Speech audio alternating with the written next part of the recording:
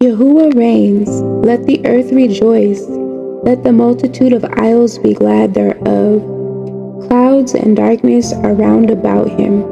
Righteousness and judgment are the habitation of his throne. A fire goes before him and burns up his enemies round about.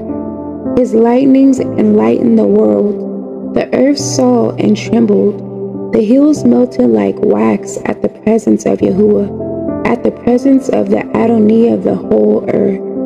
The heavens declare his righteousness, and all the people see his glory. Confounded by all they that serve graven images, that boast themselves of idols, Worship him, all ye Elohim. Zion heard and was glad, and the daughters of Yehuda rejoiced because of your judgments, O Yahuah. For you, Yahuah, are high above all the earth. You are exalted far above all Elohim. He that love Yahuah hate evil. He guards the soul of his Hasid. He delivers them out of the hand of the wicked.